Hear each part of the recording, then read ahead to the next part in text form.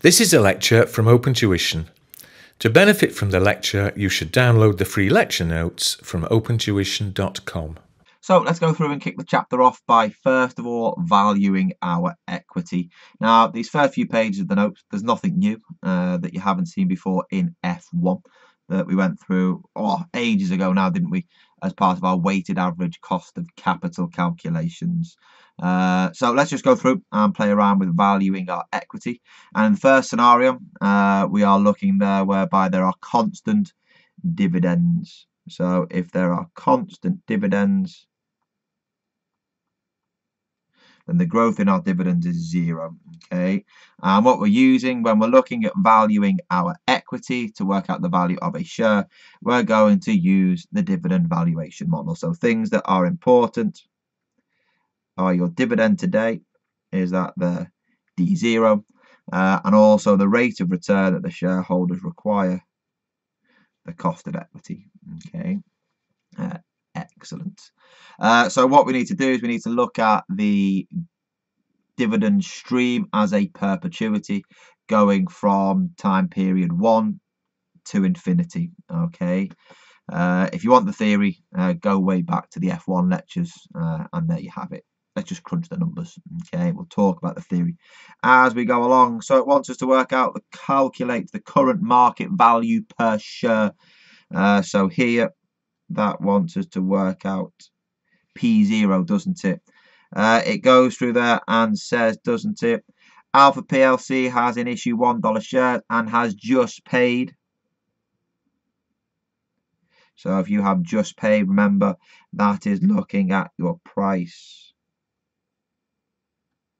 XDiv. So in the first few examples, we're going to look at our XDiv valuation. Uh, and we are told uh, that we have just paid a dividend of 20 cents per share.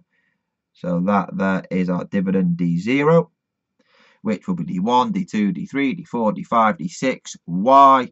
Because as this part of the section says, dividends are expected to remain constant. So if that's the case,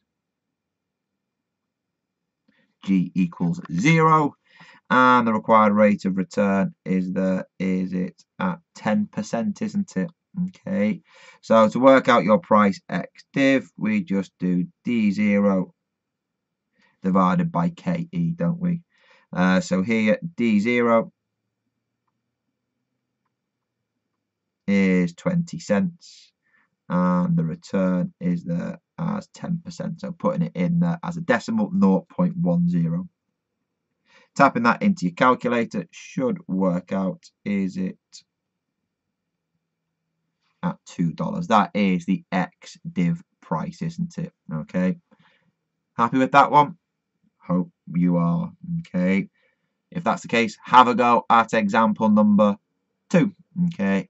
Should be pretty straightforward. Okay. So, did you go through? Uh, stop the video, uh, and work the example. I hope you did. Okay, if I give you the chance to to try and go through there and work things out, do it makes your life easier. Uh, you should hopefully get the value there. Is it as one dollar twenty-five? Okay, uh, and that has come from there. Is it your fifteen cents per share? The return is 0.12, so that works out at $1.25. Again, dividends are expected to remain constant, so if that's the case, G is equal to zero, isn't it? Okay, and again, as we have just paid a dividend, then the price that we are working out there is our price X div. Okay, happy with that? Sure, yeah. It's, just working things in a different manner, isn't it? In F1, we had to work out the cost of equity using the price, the dividend, and the growth rate. Now we're just rearranging it to work out the price. Okay, yeah, that, that's all you are doing, working in reverse. Okay. However, what you will recall from the days of F1, uh, there was that difference, wasn't there, between the cum div and the x div. Uh, so the cum div incorporates the value of the dividend about to be paid. So it has not yet been paid. Once it is paid, the cum div price will fall down to the ex-div price, doesn't it? Which gave us that formula that your cum div is equal to the ex-div plus the dividend about to be paid. Okay. Uh, so what have we got there? Uh, if we put that in as an example, it says calculate the cum div market value per share and ex-div market value per share.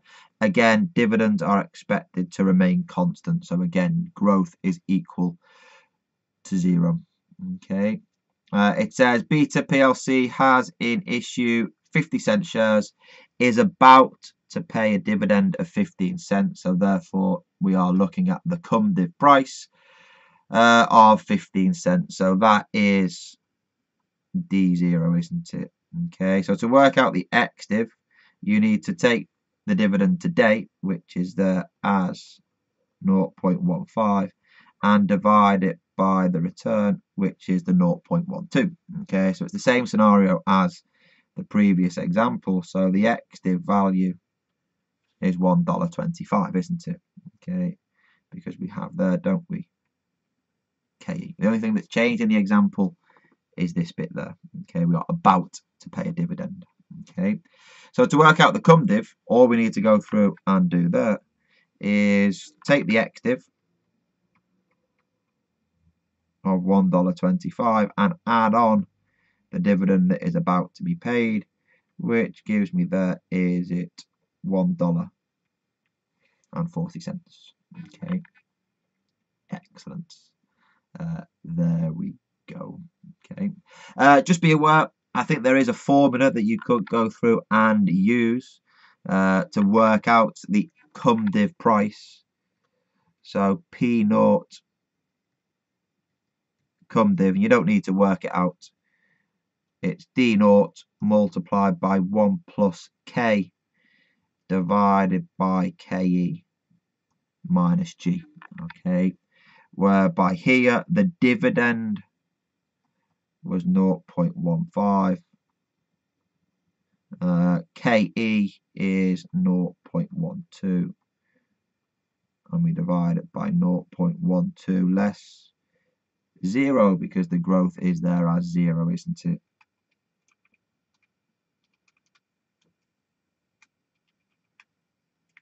and if you tap that into your calculator hopefully you're all adept at using your calculator by now is there as $1.40, which, memory serves me right, is the same figure as what we had there. Okay, uh, you could, if you want, work out that formula. Don't, okay, that would just be ludicrous. Okay, there we go.